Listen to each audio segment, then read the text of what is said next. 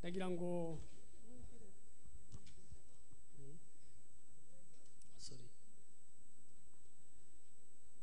ndagira ngo iyi mpano y'ijambo ry'imana tuyihereze uyu muryango wa olivier na na, hope mugisha.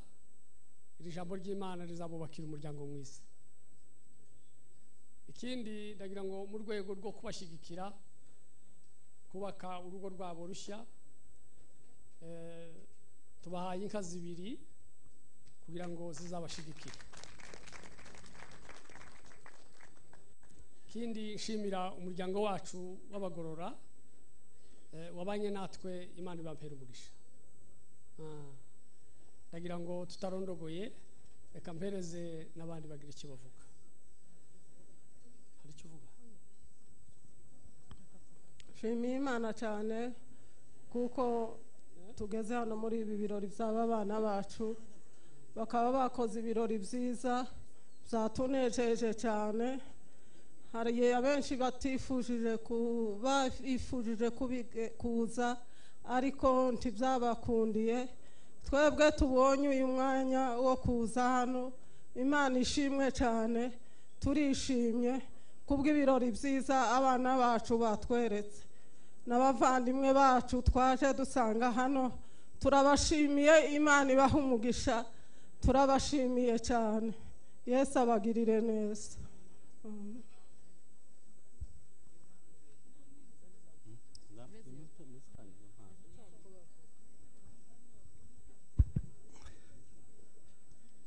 Reka bagiye gutanga impano babanze batange impano.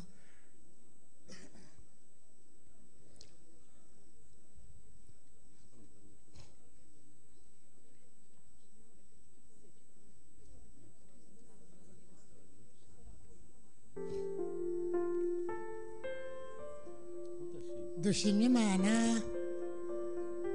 kubw'ubu bukwe ni ubukwe bw'abana b'abakozi b'imana. Ndashima imana ku bwabaye bwiza imana ishimwe. Hariya mu butumwa bwiza bwa yohana igice cya kabiri umurongo wa mbere. Igice cya kabiri umurongo wa cumi na rimwe. Imana ishimwe. Yesu yagiye mu bukwe. Na nyina n'abigishwa. Bageze muri ubwo bukwe. Nibwo yesu yakozemo igitangaza cya mbere. Imana ishimwe. Olivier nishimiye kubona olivier. Olivier na- natekereje ijambo ry'imana. Cya gihe isake bagiye kumusabira umugeni kwa ba aburahamu aragenda aje gusabira umwana we umugeni kwa ba olivier n'umwana wacu hope n'umwana wacu ubukwe bwose ni ubukwe bw'abakozi b'imana ndashimira imana ko imana yabubayemo kandi ndashimira bose baje kurutaha bawubayemo ubukwe bwacu bwagenze neza imana iduheze umugisha twese amen.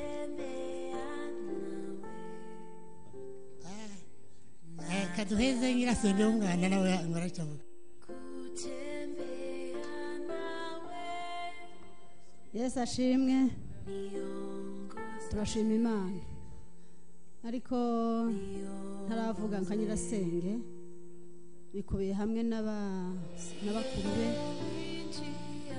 n'abaramukazi be. Abo twavuganye kuko turi butange impano kandi tukagabanya amagambo. Reka tuvugire hamwe hahaguruke ba nyina wabo. Bakuru be n'abaramukazi be. Reka mvuge mu cyimbo cya nyirasenge rero. Yesu ashimwe turashima imana kuko yaduhaye umwana esipe imana yarakoze. Nagize neza yaduhaye umwana kandi mwiza twishimira tunakunda. Ah, dushimye imana kuri uyu munsi we kuko tuwugezeho. Wo kutwereka ibyishimo bye byo kubaka urugo akaba atuzaniye umukwe uvutse mu rugo rwacu uyu munsi. Twishimiye nawe kandi n'umwana wacu ntaho bataniye n'abana bacu bombi. Abyarwa na mukuru wacu rero ni byiza. Ni byiza twishimira nk'umuryango. Dushimiye imana y'abahuje kandi ikindi kigeretseho dushimye imana kuko aje kutwereka ubukwe. Yari mu gihugu kitari iki turimo twumva ko byenda ubukwe bw'aba ntitububone. Ariko turamushimira. Dushimira n'ababyeyi batuzaniye ubukwe bwa esipe ibi byishimo tukabifatanya tukabana nawe tukabibamo turabyishimiye.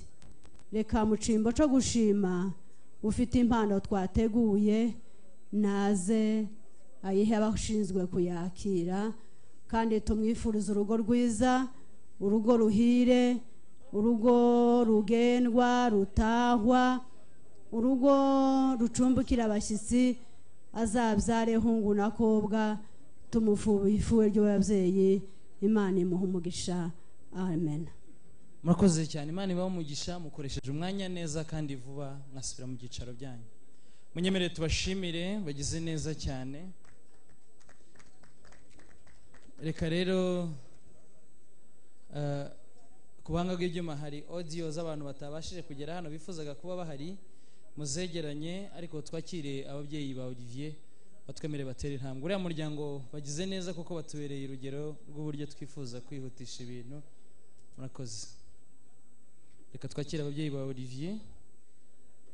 Ray Ministry mube hafi. Andi matsinda yimenyekanishije yaba Ray ndetse na Gisubizo Ministries mu twihanganire mu kanya gato nyuma y'ababyeyi turaza kubaha umwanya. Abandi bashaka gutanga impano namwe mukomeze mwimenyekanishe. Murakoze cyane.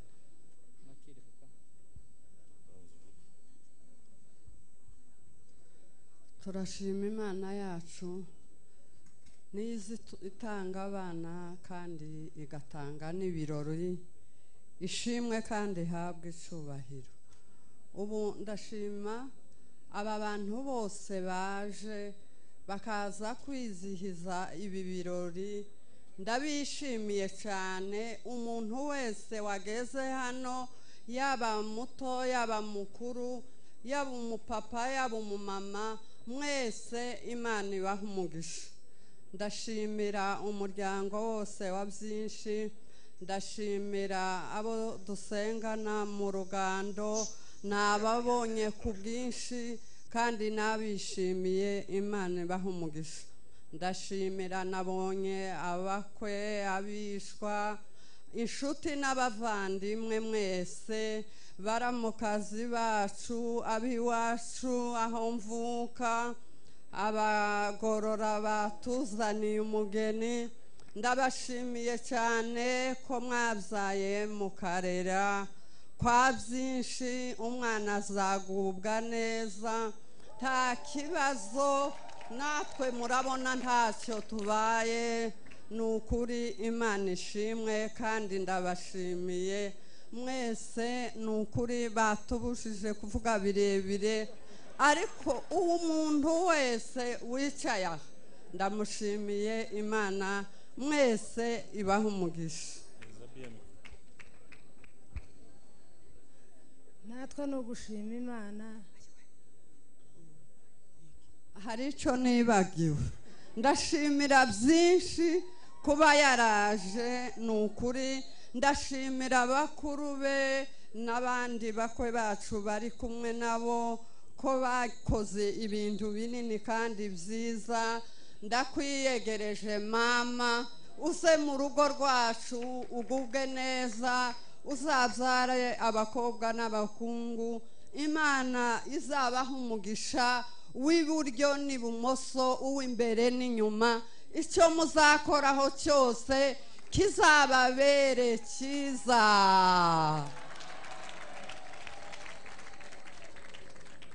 natwe ni ugushima imana. Dushimiye imana kuri ubu bukwe bw'uyu mwana busohowe uno munsi. Imana ishimwe cyane. Uyu mwana ntiyari muri iki gihugu nyine ariko uno munsi atuzanira ubukwe turishima tugubwa neza kandi ubukwe bwiwe bwabaye bwiza. Imana ishimwe. Imana ishimwe cyane yamugiriye neza yamuhaye umugore mwiza twamushimye. Imana imuhereza umugisha. Icongeyeho abantu bose baje kuri ubu bukwe turabashimiye bavuye hirya no hino ariko kuba bari aha ngaha kuba babaye muri ibi birori turabashimiye. Imana yagize neza kumugirira neza kumuzana hano agakora ubu- ubukwe bwiza. Turamushimiye rwose. Dushimiye imana yabikoze. Imana ishimwe cyane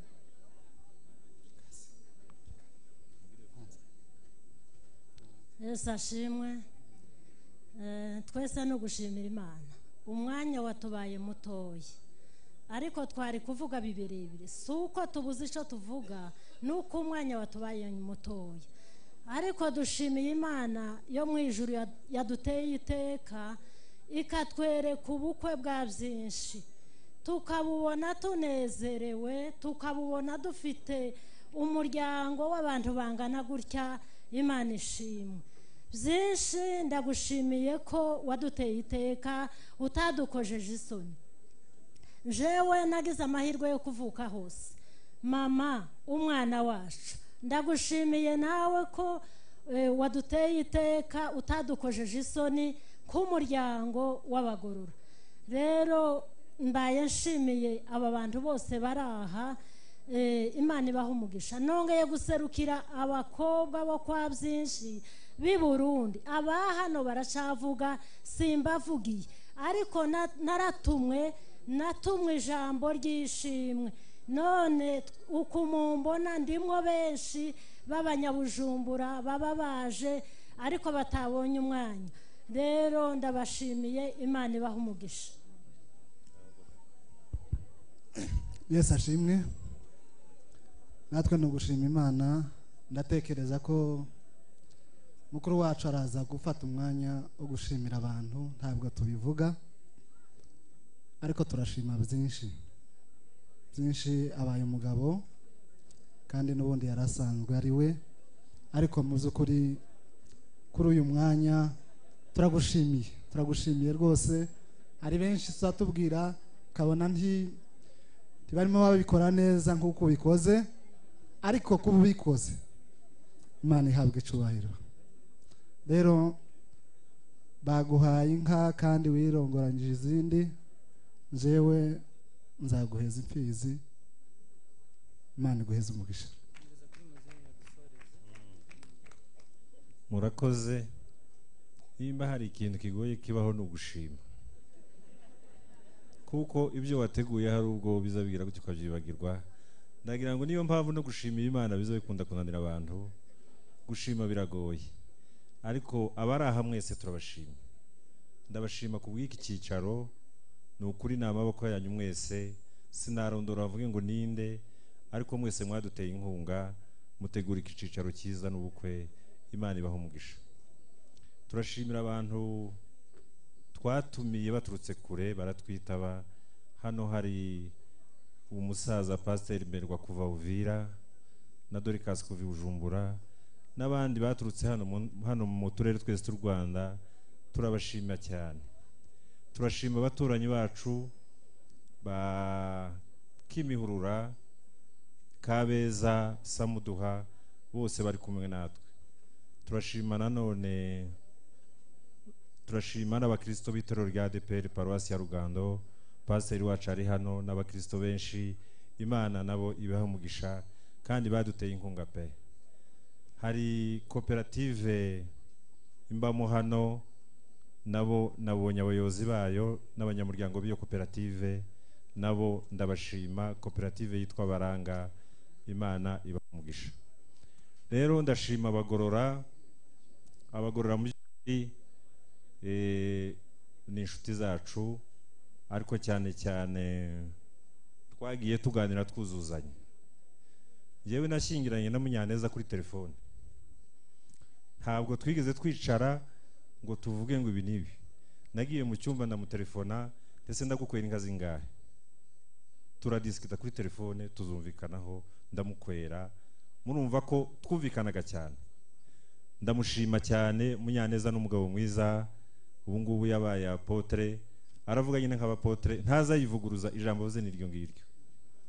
Turashima ko mwaduhaye umugeni mwiza ni umugeni usanze abandi bana.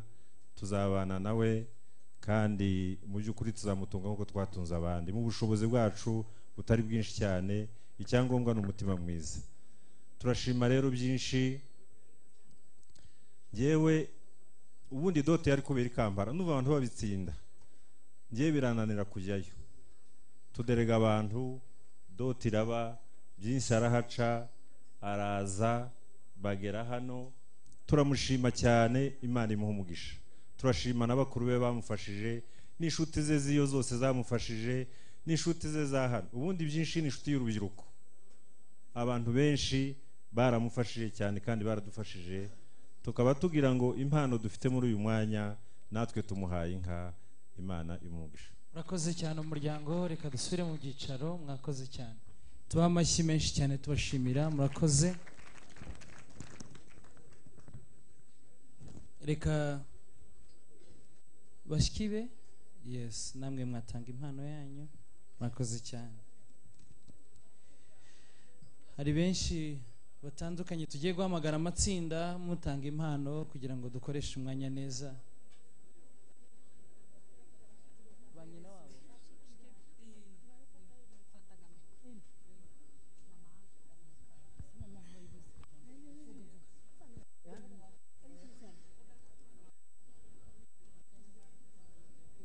Yesu ashimwe hareruya turashima imana natwe kabashiki biwe kuko musaza wacu yatweretse ibirori imana yaramurinze tukaba tugeje kuri uno munsi batweretse ibirori byiza twabyishimiye twishimiye muramukazi wacu imana imuha umugisha tukaba tumwegereje mu muryango wacu imana iguha umugisha turakwishimiye nka baramukazi bawe ni ukuri uzisanga kwa byinshi kwa byinshi hari byose. Rero tukaba twamuteguriye impano yo kumwakira mu rugo abayifite nibatambuke bayimuheze murakoze. Murakoze cyane mwayisingiriza amarene dusubire mu byicaro byacu. Reka twakire wera na zahabu bashyikiriza impano yabo. Wera na zahabu. Murakoze cyane mwayishyikiriza pare nawe akayishyira aho agomba kuba iri. Reka twakire bakuru be na barumuna be bakuru na ba byinshi nabo bafite impano yabo reka bayibazanire bayitange. Muyihe pare nawe ayishyire mu zindi. Brothers ba byinshi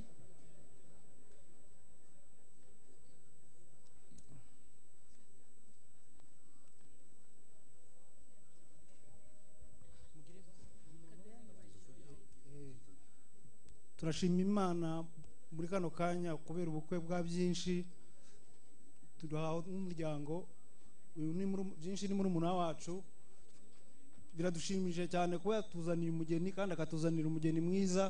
Hari abantu bagenda bakajya imahanga ariko bagaruka bakagarukana abantu byinshi yatuzaniye umugeni twishimiye twishimye byinshi wakoze cyane. Kabisa wakoze uyu mugeni twamushimye. Rwose imana imuhugu umugisha kubera ko wahisemo neza. Ubwo rero umugeni waduhaye rwose ni byiza abavandimwe bose bamushimye abari abakuru bawe abarumuna bawe bose bishimye. Imana iguha umugisha kuri uwo mugeni wa- wazanye. Eh, murakoze. Nanjye nshimiye imana muri kano kanya kuba ku birori bya byinshi. Ni mukuru wanjye ariko rimwe na rimwe hari ababyitiranya baka- bakavuga se ni murumuna wawe. Kubera ko wenda mfite ibigango kumurusha. Ariko nawe ni mukuru wanjye kubera ko afite ibitekerezo biri advanced kundusha wenda. Kubera ko yamvutse mbere. Eh, nshima imana yuko yatuzaniye umukobwa usobanutse mwiza.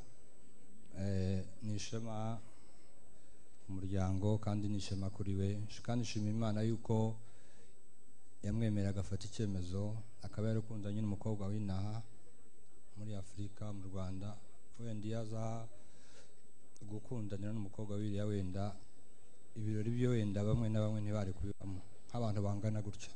Ariko murabona ko kuba abantu bitabira ibirori ari benshi eh, byadushimishije. Kandi muzakomereza aho ngaho mubikorere n'abandi imana izaba umugisha. Eh, hari abandi na bashiki banjye badahari ko hari ubutumwa bamuhaye ubwo rero hariya ku buhanga bw'ibyuma baza kudufasha wenda bakaza kubupureyinga kugira ngo nabo bumve ko bifatikanyije natwe muri ibi birori. Murakoze. Murakoze. Ijambo rya mbere turabashuje mwese muteraniye aho ngaho muri ubwo bukwe. Kandi tubifuriza no gukomeza kuryoherwa n'ibirori byiza turi kubona.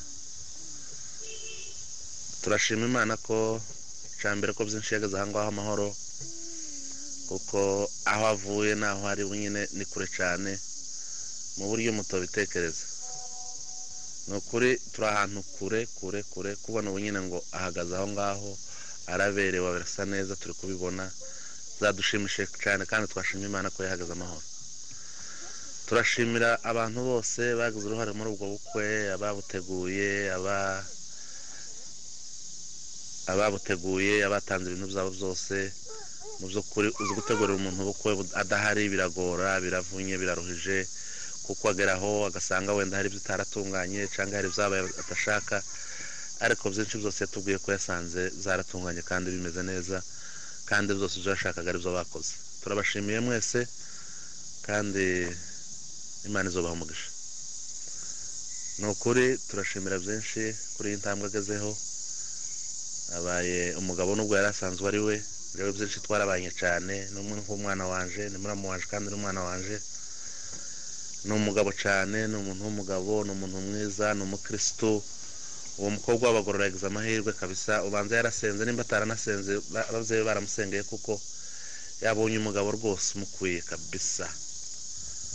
Uwo ni umuhungu mwiza wa mukobwa we uzamufate neza nk'uko asanzwe ntukamuhindure nzi ko utonamuhindura ni umugabo mwiza rwose n'umwana mwiza.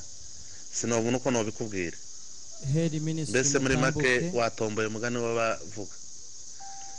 Turabashimiye mwese ntidufite umwanya twabuze umwanya wo kuza twashatse ibyangombwa kugeza n'ubu ntibira- ntibiraza ngo twaze tubishaka ngo byo kuza mu bukwe. Ariko birabura nyine ariko hamwe n'ibyo nta kibazo ubukwe ko turabubona bwabaye neza bwagenze neza. Turabashimiye mwese ababigizemo uruhare. Na byinshi turamushimiye ageze kuri iyo ntambwe turashimira ababyeyi bacu babiteguye bakaba babige- babigejeje ku musozo. Mu by'ukuri imana ibaha umugisha mwagize neza ababyeyi n'abasigaye muzabategurire gutyo muzabagirire gutyo. Rero tudatinze byinshi sinabona ico numuheza nabanye n'abasore benshi nabanye n'abantu benshi nareze benshi ariko byinshi yambereye intangarugero yanyeretse ibintu ntazabona yanyeretse urukundo anyereka nta nta ntigeze mbona. Rero ko ndabura ico nohereza byinshi. Ko ndabura ico nuvuga ariko nta kundi byinshi nzomuha inka nziza azahitamo mu kibuga iyo ashaka nimba ari iya hehe nimba ari iyo muri amerika nimba ari iyo muri afurika hose hari ibibuga nzomujana mu cahano wenda ni ho azotura ahitamo iyo ashaka niyo nzomuhereza murakoze cyane igisubizo dutera intambwe twegereye hariya. Audio ya kabiri turayumva mu kanya gato come to jesus mutwegere ndetse na hope.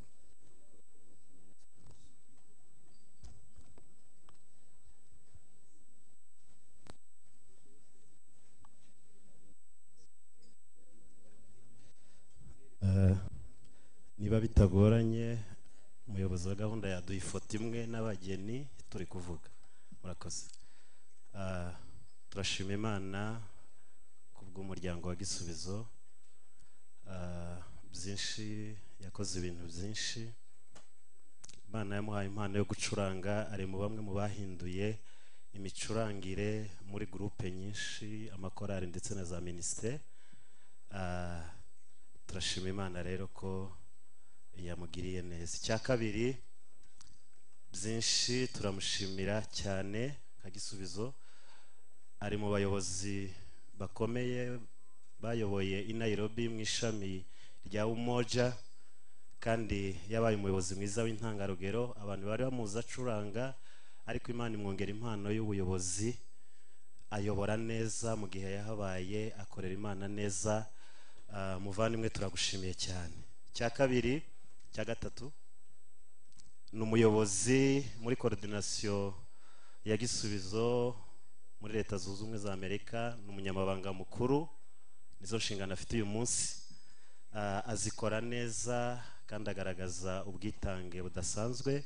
Rero turashima imana imwubakiye hamwe n'abayobozi benshi batari hano bakorana muri koordinasiyo ndetse na gisubizo muri rusange. Turamushimiye kandi bantumye ngo twifurize ubukwe bwiza. Hari mugenzi wawe wakoze ubukwe desire uyu munsi. Abayobozi bandi nibo bagiye eh, ohio. Rero mu izina ryabo bose twifurije urugo ruhire. Kazana wacu turakwakiriye umuryango wa gisubizo ni umuryango mwiza uzishima kandi tuzakwitaho. Hasigaye impano yakugezeho imana ibaha umugisha. Murakoze. Mugize neza cyane reka dusubire mu byicaro eh, ba nyina wabo na byinshi mwatwegera. Yes dukomeza come to jesus. Hope ministry namwe mumbe hafi. Kugira ngo mu kanya dusubize ababyeyi bacu umwanya. Murakoze.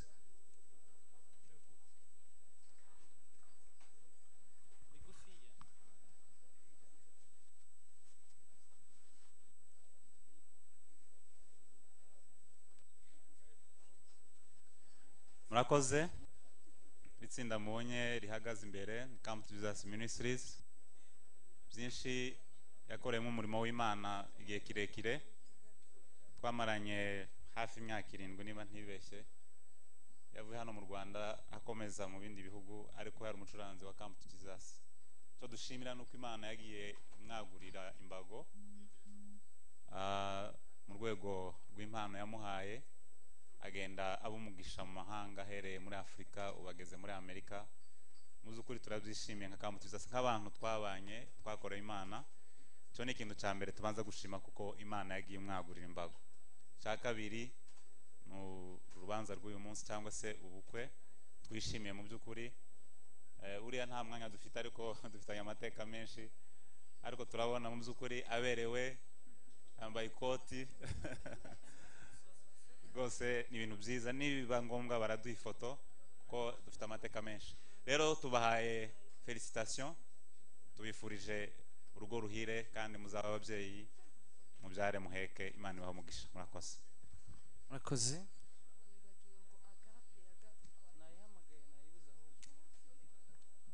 Murakoze eh, ba nyina wabo mutere intambwe mubegere. Yes ngo ni ba nyirarume nabo bifuzaga umwanya. Nabo nibegere hano hafi. Murakoze cyane.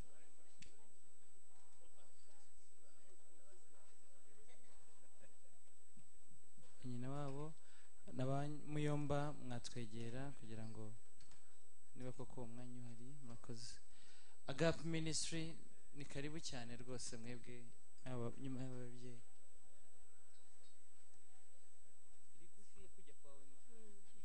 haleluya mbere yo kugira icyo tuvuga mukeba wacu naza mukecuru naza. Eh,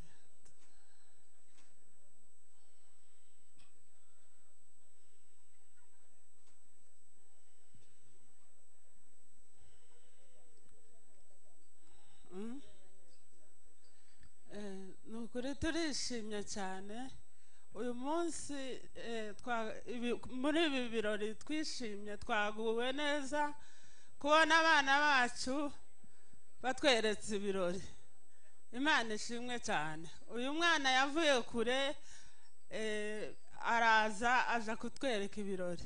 Turishimye nka ba nyina wabo eh, na- n'abakazana bacu bari hano twese. Tuguwe neza turishimye cyane ko umwana wacu atadukojeje isoni aza kutwereka ibirori tuguwe neza. Eh, dushimiye n'ababyeyi bamureze bamureze neza. Imana ishimwe cyane. Ubu rero ni ukuri ngo buroro tubuvukire imana yarakoze cyane yamuhaye kuba umukirisitu akaza kutwereka ibirori. Imana ishimwe ahandi kandi eh, dushimiye imana dufite impano abayifite ntibayitange duheze umubyeyi wamubyaye yarakoze kumurera.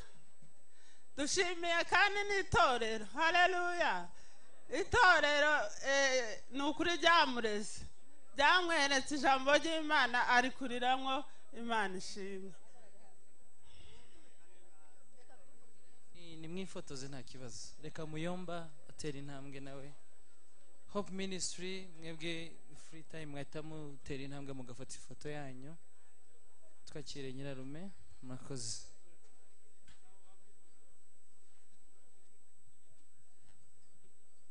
Hope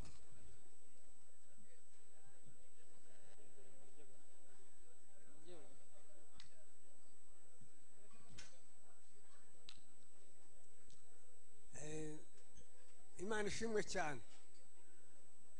Nubwo turwaye ariko twihanganye twaje ko turavugirana ariko ntitwabura ishimwe ry'imana. Dushimiye imana kuri buno bukwe bwabaye hano bw'abano bana Eh, natambiye hombi kuko bombi ari abana banjye abafaransa bazavuga ngo je ne sais pas sur pied bombi n'abana banje bahuye. Dushimiye imana ku banyabyinshi ibyacu n'abanyabyinshi ntitwamenye aho tubitangirira n'aho tubyusiriza. Ni nka kurya kw'imikoba y'ingoma utazumenya ngo mu kuyibamba bahereye ahabusiriza. Cyangwa nk'abatuye ibuvira kuri tanganika ni nkarya makira utomenya ngo batangiriye ahabusiriza ahangaha. Ubushuti bwacu bw'abagorora n'abanyabyinshi ni bwinshi cyane ntitwamenye aho tubutangira n'aho twabwisuriza tutarambiranye tafazari tutagiye mu banyabyinshi ku mutwe. Aba ba- aba- aba bagabo aba basazaga niko tubita ni iwacu bavuka. Na ba se niyo bavukaga. N'aba ba byinshi baduteranije none ni ho bavuka. N'uyu mwana kandi bazanye n'umwana wacu turi ba- ni twebwe bazi. None bahuye. Sifagira ubwenge. Sifa uri umunyabwenge. Wa- wa- wagarutse iwanyu ka- kandi uzahore gutya mwana.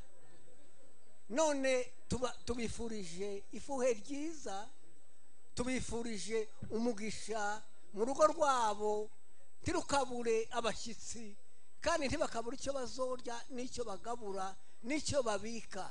Imana ibaheze umugisha ku bw'izina ryayo. Amen.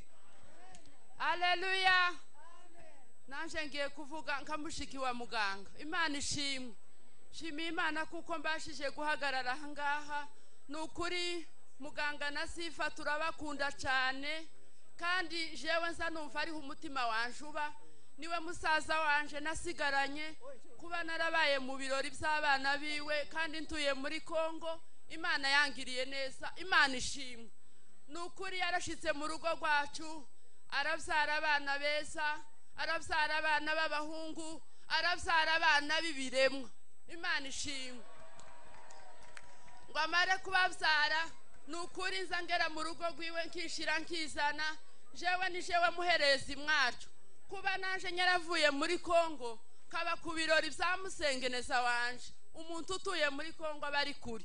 Ariko imana yangiriye neza. Kandi ubundi hamwe nyine ndi muramukazi wiwe ahandi ndi mukamuyomba wiwe. Imana ishimwe yangiriye ibyo bintu. Ndayishimiye. Imana ishimwe.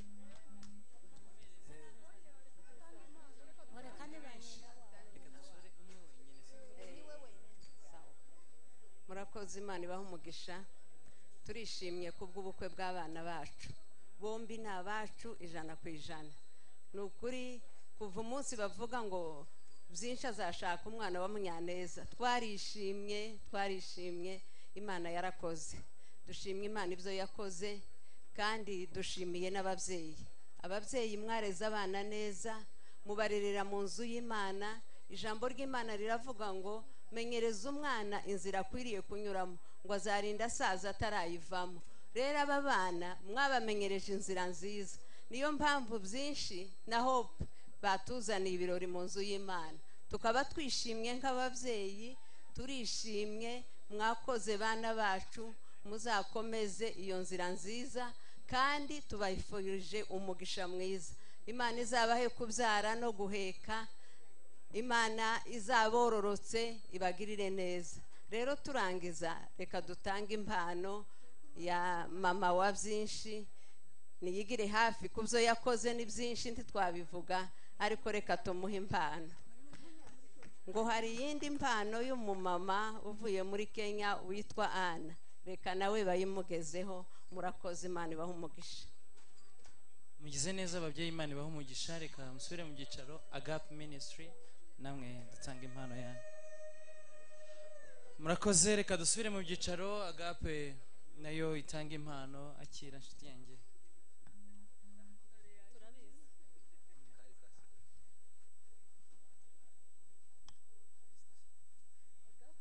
Eh, ntabwo turi butinde kubera ko umwanya wagiye. Ah, nk'uko babivuze turi agape. Twabanye na mwene data byinshi tukiri bato turirimba guhera icyenda gatanu kugeza uyu munsi. Ndumva twarabanye neza twishimiye ibirori byiwe kandi imitima yacu yuzuye ishimwe kubera ko ah, ni umwe mu nkingi za mwamba zigize iri tsinda.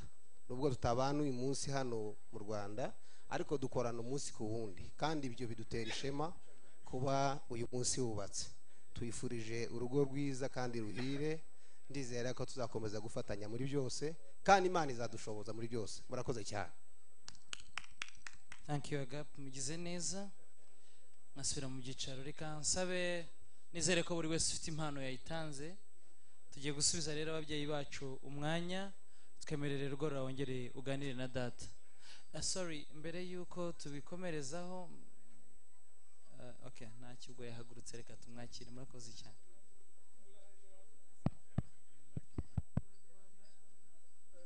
Byinshi urakabyare? Urakabyara uzagije ijana. Ukabyara inshuti yanjye ubu mpagaze aha mfite impamvu zibiri ngira ngo nkugezeho. Impamvu ya mbere byinshi waraje uza kwa rugorora uza kumusaba umugeni umusaba umukamisha kuko umukamyi wari umufite. Imihango yo gusaba yagenze neza urakwa turakurongoranya turakugabira. Uyu munsi twakuhaye umugeni. Rero ndagira ngo kubwire ko inzara waje utaka. Ndagira ngo uyu mwana mutwikurure. Ndagira ngo mutwikurure. Eh, ibirungaranwa byageze mu rugo. Uraza kubireba kandi twanabibonye twembi. Imyenda irahari. Ibikoresho byo mu gikoni birahari ibitwikururwa birahari. Ndagira ngo mbwire umwana nawe nkubwira ejo azajye mu mirimo ejo azagende aje gukamisha azahira icyarire azakuvune ku mirimo yari ikugoye azagufashe n'icyo waje kumusabira urakabyare byinshi. Urakabyare. Ijambo rya kabiri rero impamvu ya kabiri ndagira ngo nkubwire ko eh, amazi yazindutse ageze kure ndagira ngo nsezere. Akaryoshye ntigahora mu itama ndagira ngo ngushimire rwose watuzimaniye waduhaye ibirunge by'abakwe waduteze imbyino waturirimbiye watubwiye amagambo meza watwicaje mu byicaro byiza turagushimiye byinshi. Ariko ndagira ngo nanone twazanye n'ababyeyi bonsa badashobora kurara uko biri n'abana. Twazanye n'abasore inka zatoye. Badashobora nanone kurara kuko izo nka ntizakamwa ariko ab'intebyi bo mbaye nkubwiye ko turakomezanya igitaramo. Abo nabo nanjye ndaba basigayemo ariko abandi muze kuduha udukoni muduherekeze mwakoze neza imana ibaha umugisha murakabyara kandi. Urakoze cyane ugihagaze ugihagaze ndagira ngo uteruye ijambo ryiza uti mwaje mu rugo iwacu mudutakira inzara mukeneye amaboko tugiye kiragera mu byukurutse umunani muraza turabakosha tugiye kigeze turabahekera. Kandi imbyino yari imwe ngo mukeneye amaboko. None rero umugeni twazanye ntabwo twaza tubazaniye amaboko ngo twongere gusiga tutayahawe uburenganzira bwo gukora. Uti ubona aha ngaha? Naje mfite ibirongoranywa by'umwana biri mu ingeri zose biri mu myambaro y'umwana yewe birimo imbuto zitandukanye birimo n'igisabo kandi byamaze kugera mu gicumbi cye cyari gisigaye ni ukumuha umudendezo none ngo uyu mwana ngo azasohoke agukamishe kamishe umutware we kandi azoze ibyansi amaboko waje usaba uyabone. None rero nta kindi cyifuzo cyawe ni cyo turagishubije tuzarushaho kukubera ababyeyi tuzagutambira tuzakuburira gutanga akabyari. Muryango ndagira ngo iri jambo ruguru ravuze ntabwo twari kuzarishobora kuryivugira. Ariko nk'uko abivuze birongoranywa byarahageze biriya byose avuye kuvuga byageze mu rugo. Ndagira ngo masabe tumushimire tumukomera amashyi. Rugorora ni amashyi yo kugushimira? Ibyo ntibigaragaza ko ijambo uvuze ari ukuri. Muragahora mucima hanyuma uvuze ijambo uvuga uti umunsi urakuze kandi data wantumye akeneye ko mugezaho amakuru y'ibirori uko byagenze. Ni byiza biraryoshye ariko kandi imfura nziza n'itumwa kandi igasoza ubutumwa. Kuko ntabwo nakwikunda ngo nange abaduhaye aho kwa rugorora. Icyifuzo cyawe ndagira ngo tucyemere. Ndagira ngo tucyemere. Gusa ndagira ngo nkubwire ngo abo mwazanye nabonye harimo intebyi nabonye harimo abakecuru amajigije abagabo bikwerera bakuze batagenda iki gihe? Mu kanya turaza gucuranga inanga. Yewe turi kubaha umwanya batambe ariko rero barya bose uvuze bonsa n'abafite inka zabatoye rwose bagende. Hanyuma rero ndabizi kandi ko utabaha inzira ngo bagende bonyine kirazira mu muco. Ntawe ujyana n'abana ngo abahe inzira igikuru ni uko bagezayo. Rero rugorora aka ni akanozangendo akanozangendo nagushyira hariya mu gicumbi yo gukorera inzoga kizira. Ni akanozangendo nuhura n'abashonji. Uze kubafungurira kandi nugera mu rugo nanone ndabizi ko ari mini nini bishobotse uze no kwiganiraho ikiganiro. Iradukwira rwose. Maze rero rugorora tuzagutambira tuzakuburira tuzakubera abana kandi nabo zarushaho kutubera ababyeyi. Urakoze cyane akabyare musabwe mubyare. Urakabyara ubyagije urakoze cyane. Murakoze cyane turagana ku musozo koko. Reka amasabe munyemerere mwegere hano hafi dj wa playing akawudiyo ka kabiri. Mwumve indi mesaje y'abandi bishimiye ibirori byanyu.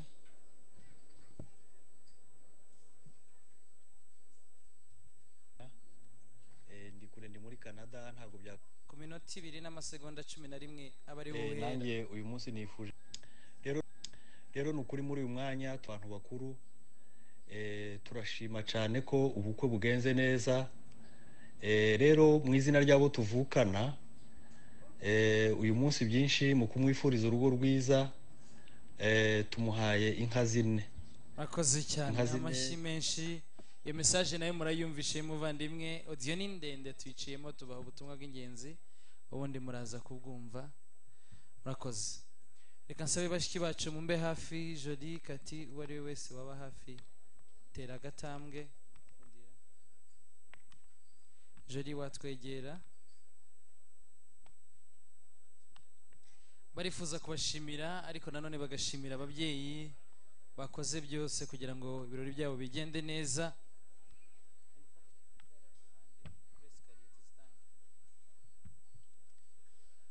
Hari timu yindi yari yasabye umwanya mbiseguyeho timu y'abacuranzi bari kumwe na mima n'abandi munyemerere dusoreza aha nabo bifuje kugushimira kuko mwabanye neza muri iyo kariyeri ariko umwanya ntukunze kugira ngo ababyeyi bigende neza. Murakoze cyane batambuka bagafatanya ifoto nawe. Joli yesi ibampere mu biganza.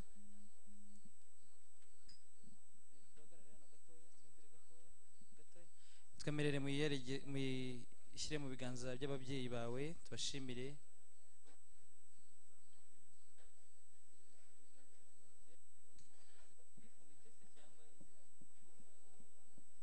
Mwakomeza mwegera ababyeyi aho bari mubashimire. Mama abana rero banejejwe nawe bemerere impano ibishimwe ryawe. Nanone niba uza kubona akanya ko kuganira mwibukiranya uko ibirori byagenze. Musangire iyo mpano. Mwafata agafoto. Murakoze cyane murakoze cyane. Jori yongere abadushyikiriza iyo mpano yindi na yo bayigeze mu biganza by'ababyeyi bashimire musabe musore atube hafi.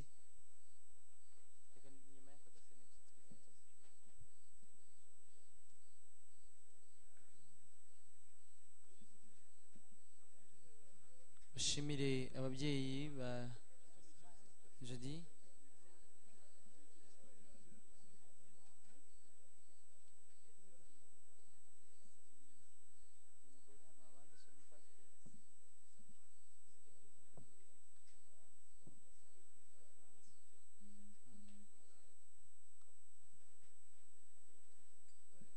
murakoze. Reka nsabe abacuranzi bose. Twegere.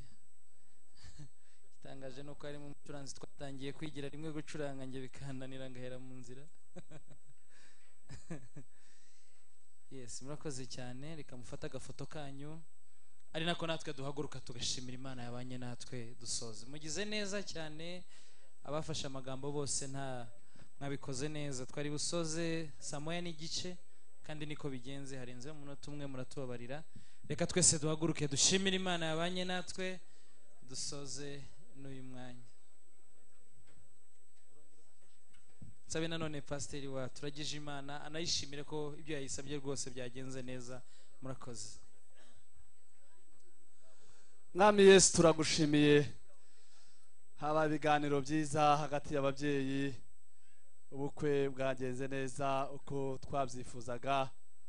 Dusabiye umugisha abantu bose babashe kubutaha n'abihanganiye amasaha. Dusabiye umugisha mwami imana yacu abana bacu bagiye gutangira urugo rwabo rushyashya ubashyigikire ibyo twabifujeho byose nk'ababyeyi bizababeho ndetse bizarushirizeho ubuntu bw'umwami wacu Yesu kirisiti bujyane natwe mu izina ry'imana yacu. Amen.